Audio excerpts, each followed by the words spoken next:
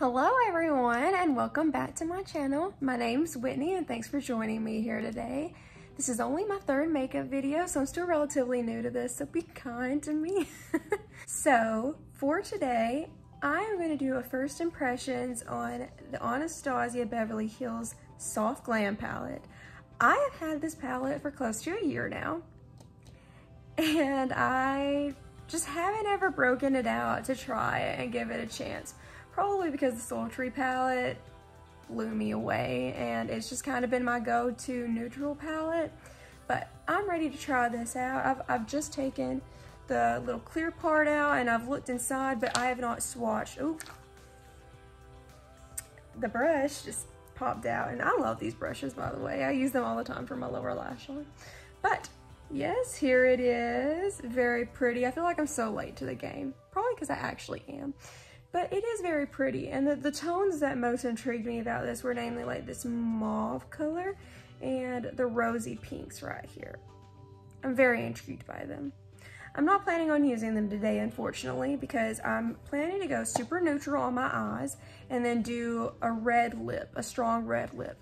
Um, so let's get to it. Well, as of right now, like usual, all I have on is the MAC Paint Pot in shade Painterly on my eyelids. And I have the Maybelline Fit Me Loose Finishing Powder in shade Fair underneath my eyes to catch any fallout that may happen. I also went ahead and put a little concealer um, on my chin because I've got maskne, so fun. What I'm thinking I might want to do today is um, go into some of these colors right here on the bottom and I think I'm going to use the shade Glistening for, oh,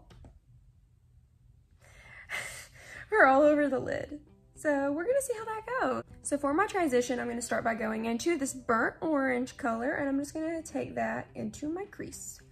Oh. Lots of fallout, but that's not too abnormal for Anastasia.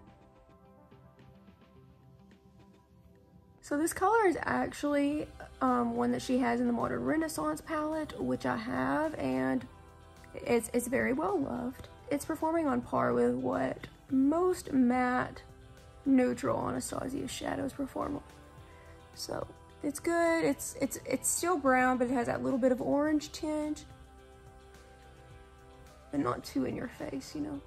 Just kind of toasted. And we like how the crease is beginning. Okay, so for the outer corner and going more into the crease, I'm going to go in with this color Sienna. I'm a huge fan of the color Raw Sienna that's in the Modern Renaissance palette, but this is definitely a lot darker than the other one. The other one's like a pretty pure matte brown. And this one has, I don't know how much you can tell, you maybe you can tell up against the rustic color, but this one's definitely got more red to it. So I'm going ahead and dipping into the sienna color and starting in on my crease and outer corner. Definitely giving it a little more red. Ooh. Lots of fallout in the pan, but again, not too unusual for Anastasia. Okay, so right now it looks pretty even to me. So I'm gonna take the, the rustic color and blend out my crease with that. Okay, so right now I think it's actually looking pretty good. So I'm gonna go in with this glistening shade right here and just using my finger, I'm gonna put it all over my eyelid and hope that it is nice and shiny.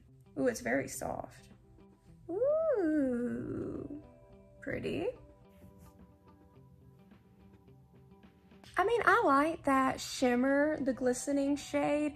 I mean, it's not just insane and, and like just out of this world shimmery, but it does give you that like subtle shine. It almost reminds me of like what they would describe a candlelight highlighter as just that subtle little glow like if you're standing in the can like a candlelit room or something just something subtle. Uh, that's what it kind of reminds me of but like for your eyes instead of a highlighter. So I like it. I mean it's not just like blowing me away but then again I prefer pretty extreme sparkles. All right so for the bottom lash line I'm gonna pull from the Cypress Umber obviously I've tried this color in the Modern Renaissance palette yeah I think that's what it's in so I know I, I like it. It's not one that I use just all the time.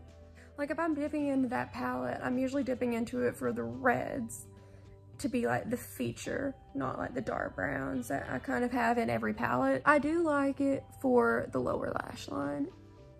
It brings that depth. Also, I apologize if the screen keeps changing because I keep dropping my phone. So, fun. So professional. And just to calm it down a tad, I'm also gonna go into the rustic color just to buff out the bottom lash line. All right, so I think that's it for this portion of the first impression. I'm gonna do the rest of my makeup off camera. I'll give you my first impressions in just a minute. Hello, I have returned and my makeup is all done now. For my lips, I chose MAC's Bullet Lipstick in D for Danger. It's just like a beautiful kind of uh, berry fuchsia red. That's what I have all on my lips today. It's a matte formula. I really like it. Actually, like once I got my mascara on, I really like the look. It's just very subtle and it's nice. It's what I was going for with this bright, fun lip and it just complements it very well. So for my first impressions of the Soft Glam palette, I used five shades, which I feel like is pretty good for a first attempt. I used Glistening, Burnt Orange, Sienna, Rustic, and Cypress Umber. And I have used two of these shades in the Modern Renaissance palette. So three of these were new experiences for me.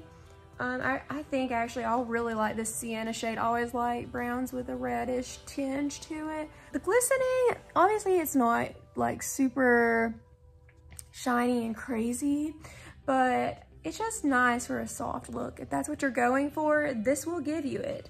And I liked, I liked all the mattes. They obviously blended very well. I like Cypress Umber on the lower lash line. It almost looks like I have eyeliner on we love that because I'm too lazy to do normal eyeliner. Actually, I really like it. I just, I can't wait to play with those pinks just on a different day. Yeah, those pinks and the dusty rose color, oh my gosh, I'm so excited. And the mulberry shade's really pretty as well. I always love it. Always love a good red shade. I just talked about the reddish browns. That's kind of it. I love that shade. So first impressions, I'm pretty impressed. The matte browns are pretty typical of Anastasia and I have really never had too bad of luck with any of their browns. So I quite enjoy it. I could have used a little more shimmer, but I think, I mean, it's called soft glam for a reason. Now, if it was full-blown glam and it gave me this, that would be a different story, you know, but they're going for soft. And I know that is a lot of people's speed. Personally, if I'm to go for shimmers, I probably prefer a lot more of what's in Sultry. Uh, this is very well loved. It's probably my favorite palette of uh, recent memory for a while now. It's been my favorite palette. I've had it for about a year, if not a little over that. The, the shimmery shades in that are a little more my speed, but the soft glam lived up to its name. This is definitely soft glam. This is what you would do for someone on a wedding day. This is this is the look. Yeah, I'm very excited to try more looks with it. And I would give it a thumbs up as for now. Obviously, I've not tried every shade, but I have a hard time believing this is gonna flop. I mean, it's a neutrals palette. It's kind of hard to screw that up, and especially with Anastasia's formula. I love it. It's hard to mess that up for me. Hope you like this look. I know it's simple, um, but I'm just going to church tonight, so I'm not trying to look super, super, super dramatic. uh, I do that enough, so I'm trying to be a little more subtle. I hope you enjoy this. Come back for my next video. Hopefully it'll be pretty soon. And thank you for watching if you made it to the end here. Love you guys. Thank you for your support and I hope you enjoy this. Yay. Bye.